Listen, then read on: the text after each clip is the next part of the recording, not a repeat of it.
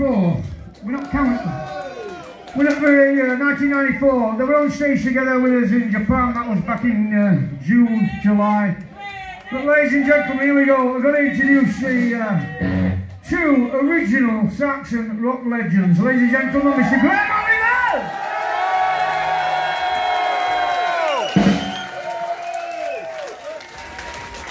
And great to do this, Paul. Fantastic. Mr. Paul Quinn, yeah?